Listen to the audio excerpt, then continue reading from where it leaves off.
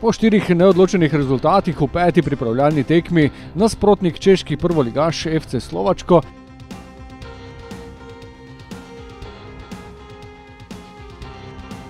In Čehi so bolje začeli tale obračun, prva priložnost, strelj z glavo preko gola.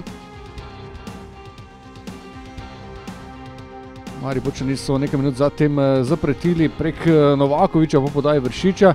Na koncu se je do strela dokopal Damjan Bohar. Naslednji je poizkusil ponovno Bohar po lepi globinski podaji, toda dvakrat na pravem mestu češki vratar Milan Heča. Najlepša priložnost za Maribor v prvem polčasu, strel Tavaresa iz obrata, toda znova Heča na pravem mestu. Potem so zapretili Čehi, toda Matko Obradovič je bil na mestu ob strelu Daničeka. Nekaj sreče pa je Obradovič imel nekaj minut zatem, ko je strel z glavo končal v vratnici. Nato pa vodstvo ena proti nič, izjemen zadetek, projektil bočnega branilca Bosanca Eldarja Čiviča iz precejšnje razdalje.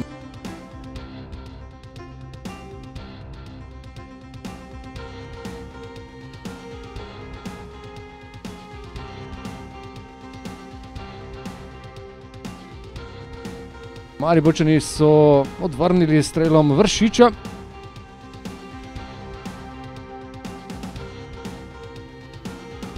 Potem pa do konca polčasa še en poizkus Čehov, in sicer je Obradovič izjemno reagiral ob poizkusu Zajca. Končalo se je po prvem polčasu z rezultatom nič proti ena.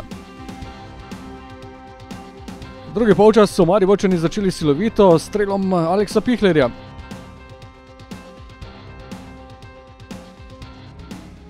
Sledil je lep poizkus, kombinacija Boharja in Novakoviča, toda podaja nenatančna.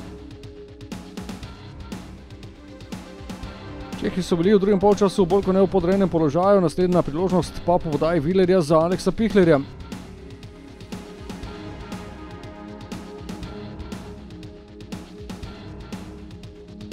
Sledil je strel Dareta Vršiča, potem ko so Čehi izbijali, toda znova se je po robu postavil izvrstni vratar Milan Heča.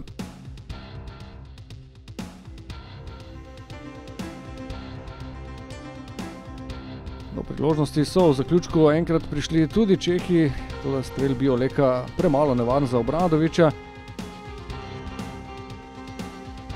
Za zaključek tekme pa še enkrat Marcos Tavares, toda končalo se je vendarle s porazom, prvim po štirih neodločenih rezultatih. Ostane le še prijateljska tekma proti črnogorski Budućnosti, potem pa vrnitev nazaj v Maribor.